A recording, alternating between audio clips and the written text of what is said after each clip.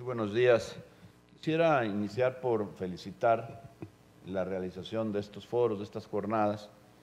Me parece que el tema lo amerita y justifica esto y muchas otras cosas en donde podamos dialogar respecto a la mayor preocupación de los mexicanos y de las mexicanas. Yo no creo que hoy haya una preocupación mayor que la que enfrenta nuestro país en esta materia.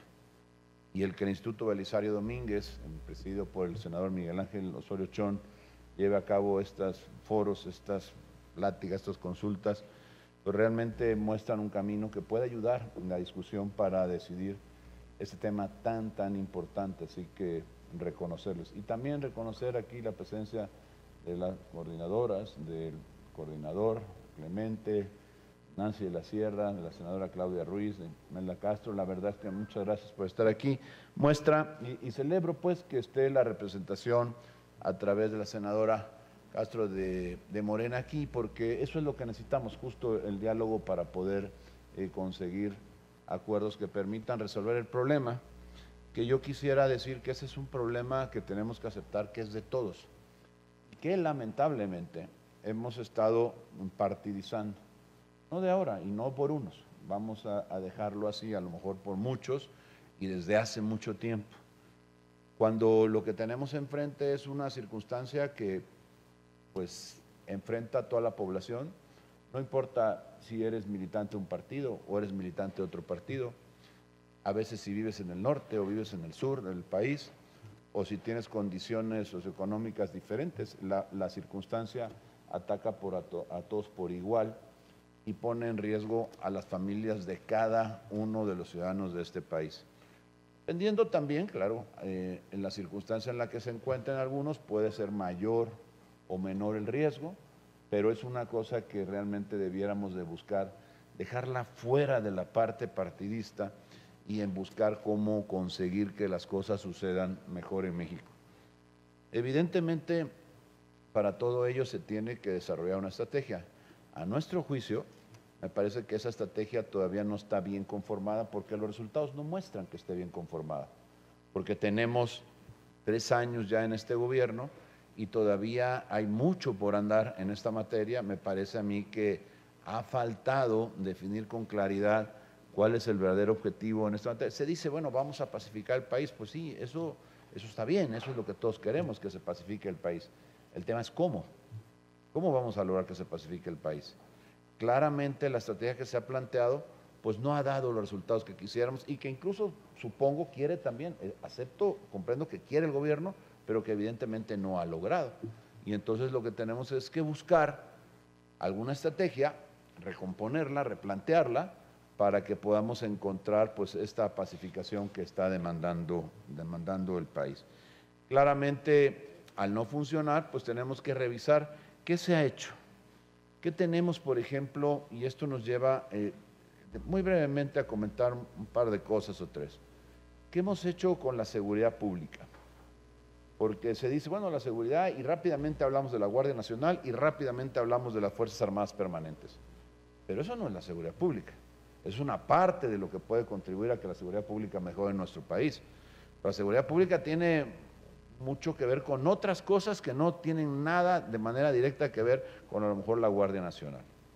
Porque además la Guardia Nacional, recuerden ustedes que se planteó el nutrirla de elementos de, la, de las Fuerzas Armadas Permanentes de manera temporal. En el quinto transitorio, si no recuerdo mal, de la, aquella reforma, se establecía eh, pues el tiempo en el que debía de permanecer pues esta ayuda, esta colaboración y que concluiría por allá del año 24. Ahora hay una intención clara de, digamos, que ascribirla a la Fuerza Armada Permanente. Me parece a, nosotros que, no es lo correcto, que no debiera de ser ese el camino. Y sí, debiera de ser el buscar cómo fortalecer toda la estructura de seguridad pública en el país. Hemos visto cómo en el presupuesto, nada menos el aprobado para este 2022, se ha desatendido esa prioridad de fortalecer a las policías estatales y fortalecer a las policías municipales ya no se les, ya los fondos de seguridad que existían, pues ya no existen.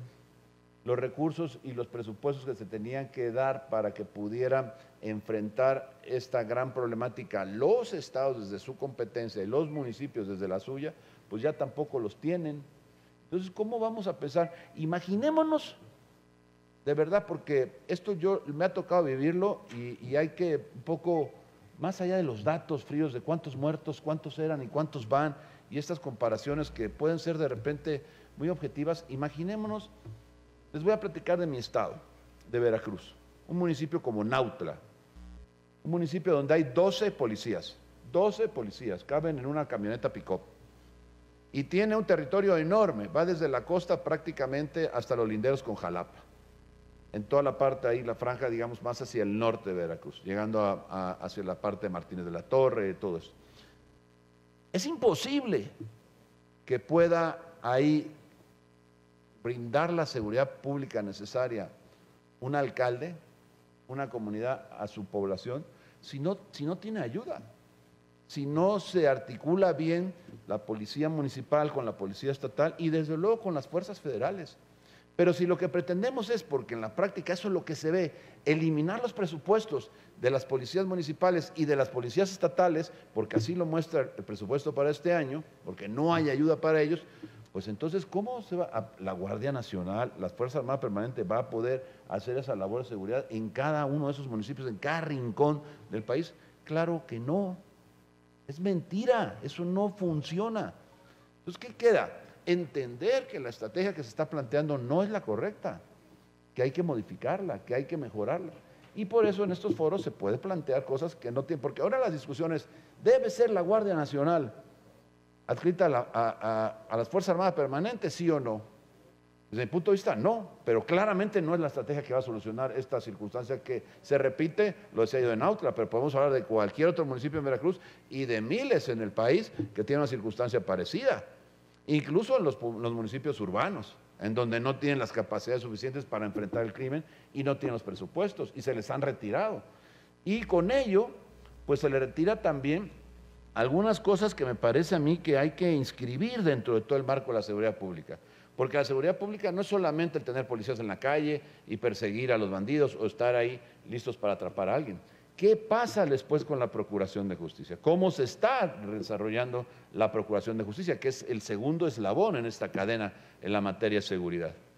Y después la administración una vez que lo detienes, una vez que lo presentas, cómo se va a llevar a cabo el proceso para poder sancionar y para poder retener a alguien a partir de la decisión de un juzgado en la administración de justicia.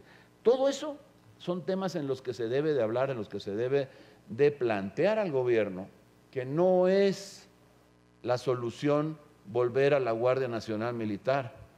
Eso no va a ser nunca la solución. Lo que necesitamos es verla de manera integral y plantear una estrategia. Y hoy, lamentablemente, no se ve. Lo que tenemos que hacer es que desde estos foros decir, oye, advertirlo, decirlo, hay que ver que esto se haga, porque de otra manera no vamos a encontrar los resultados que todos queremos. Porque claramente acepto que todos queremos que México se pacifique pues la vida, pero no se va a resolver si no la estrategia que se ocupa no es la adecuada. Y buscar al final que los resultados sean los que avalen la estrategia. Hoy tenemos esa oportunidad de hacerlo, vamos a discutir, ya lo decía la senadora Castro, vamos a discutir rápidamente, seguramente en este mismo periodo ordinario, esta propuesta y ojalá esa sea la oportunidad para plantear una estrategia integral y que no nos centremos solamente en la, parte de aprobar o no un, un, tema sobre la Guardia Nacional, ampliarlo realmente, que sirvan estos foros para poder tener material suficiente para encontrar cuál es la solución a la política integral en materia de seguridad pública, porque no se ha logrado hacerlo en este gobierno. Y no quiero hablar más de lo que no se ha hecho o de lo que se hizo, porque rápidamente se llama decir, oye, es que en el pasado se hizo más o se hizo peor. Y esa no es la discusión. Hoy tenemos un nuevo gobierno que tenemos que respaldar todos a partir de la aportación que hagamos de ideas para que se componga esta materia que nos interesa a todos absolutamente a todos. No hay, yo creo, un ciudadano, pues, en uso de la razón, que no pueda querer que las cosas sucedan para bien en materia de seguridad. Y nuestra propuesta es sumarnos a este esfuerzo que hace el Instituto Belisario Domínguez al poder estar en condiciones de hablar, de aportar y que desde el PAN podamos, en la experiencia que se tiene en gobiernos locales, desde luego en gobiernos estatales y algunos funcionarios que han estado también en la función a nivel federal, pues poder tener estas aportaciones que nos permitan construir un marco completo para intentar lograr pacificar al país. No se va a hacer pronto, no se va a hacer fácil, pero más vale que entendamos que lo que se ha hecho hasta ahora no es la solución, hay que corregirla y hay que intentar hacerlo. Si se puede a través de esos foros, pues bienvenida esta iniciativa y felicitarlos por ella.